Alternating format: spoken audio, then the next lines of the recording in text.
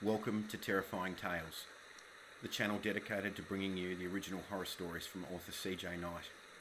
If you like what you hear, please like and share the video. Feel free to leave a comment and please consider subscribing to the channel. When the man came around. It's rough living on the land south of Globe, Arizona. I'll always remember one day more than any other. My name is Thomas Miller, and this is my story. It was 1887, and I was 13 years old. Geronimo had surrendered the previous year. Despite the surrender, Apache warriors remained an ever present thorn in the cavalry's side. Hostilities between the rivals continued as the warriors crossed the Mexican border into Arizona. Skirmishes and raids were frequent. I, along with my father Thomas Sr. and my sister Susan, lived on a small horse farm close to the Mexican border. My mother had perished some years back birthing my sister. Despite all the hostilities, the Apache left us alone. In return, they stopped at the farm whenever the need arose. It was a tough decision my father made to keep me and my sister safe. This day started like many others. With the sun still resting on the horizon, I never saw their approach. It was the steady trot of hooves that drew my attention. Ten horses, in neat 2 by 2 formation, made their way toward the farm. As they drew close, the blue coats came into view. Thomas, take Susan inside, my father said. Don't come out until I say so. Who is that? Susan said. Never mind that. Susan wasn't used to father being short with her. She offered no protest. I took hold of her arm and led her inside. What's father worried about, Thomas? Susan whispered. Who are those men? I never took my eyes from the window. The cavalry, I said. The men circled father on their horses. The one directly in front of him dismounted. His voice carried through the air. I am Captain Henry Brady of the 6th Cavalry. I'm searching for Thomas Miller. What do they want with father, Thomas? Susan whispered. My heart sank in my chest. They know, Susan. What do they know? They know the Apache come here to the farm. Susan lifted her hand to her mouth. Now she understood. Captain Brady spoke again. Reliable information has been supplied, Thomas Miller, that you have been assisting the Apache. This traitorous activity is more than troubling. An example needs to be made. Captain Brady's eyes found mine. There are more guilty parties inside. Bring them to me.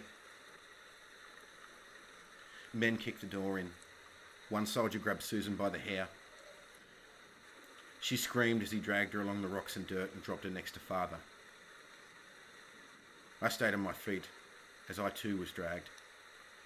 The thin trail of blood passed by. Susan's blood.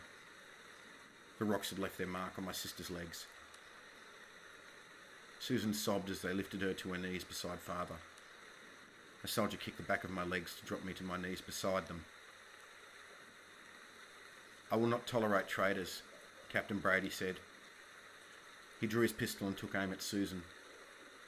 My father lunged toward the captain.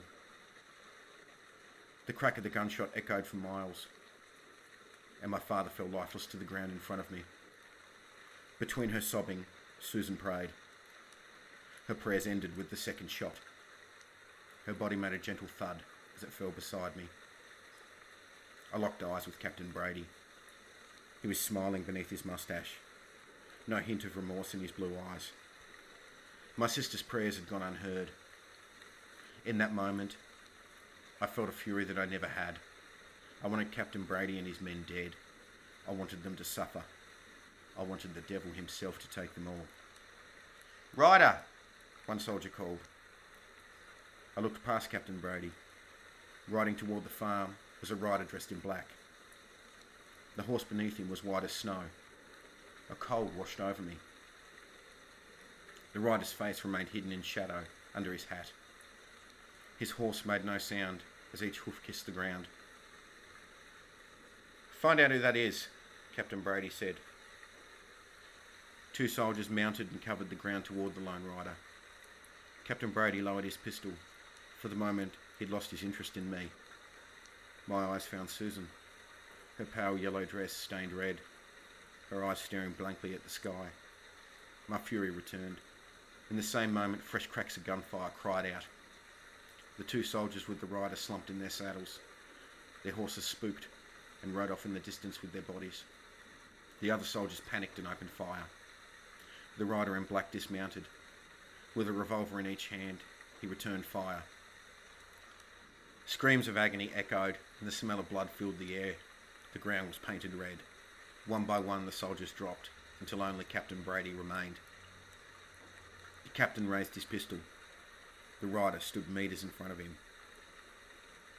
Captain Brady emptied his pistol. Each bullet found the rider's chest. I waited for the rider to fall. The moment never came. The rider lifted one of his own pistols and fired. The bullet tore through Captain Brady's hand, and there was a soft thud as his pistol fell to the ground. The next bullet found the captain's leg, dropping him to his knees. He reached for his pistol with his healthy hand. Another bullet ripped through that one too. The rider continued walking forward. Like his horse, his steps made no sound. As he stood over the captain, I was happy. The man who killed my father and sister no longer smiled. A puddle of urine joined the puddle of blood beneath his knees. Please, Captain Brady pleaded. The rider reholstered his pistols. One thought ran through my head. Do it. As soon as the thought entered my mind, the rider's hand shot forward and gripped the captain's throat. The captain let out a muffled groan, which turned into a scream as the rider lifted him from the ground. Captain Brady's skin bubbled and burst. His coat caught fire. His entire body burst into flames. With such a heat it forced my eyes closed. When I opened them, nothing remained of Captain Brady, save a small pile of ash in front of the rider's boots. The rider turned and walked back towards his pale horse. My eyes, blurred by tears, drifted from Susan to my father. I want them back, I thought. The rider paused mid step. He turned and walked back toward me. As he stood there towering over me, he spoke words for the first time. Are you sure, Thomas? Such a wish carries a hefty price. Words caught in my throat. I was sure. I just couldn't form the words. Very well, the rider said. I realised he could hear my thoughts. He knelt down and placed one hand on Susan and the other on father. I held my breath as their chests began to rise and fall. The rider stood. They'll wake when I'm gone, he said. Thank God, I thought. God? The rider said. You didn't pray to God, Thomas. Blood drained from my face. I'll be back for you when today's debt is due. The rider mounted his horse, and together they vanished. The remains of the soldiers vanished along with them. Father and Susan came too, as the rider had promised. Neither of them remember anything from that day. Seven years on, not a day has passed where I haven't thought about the rider.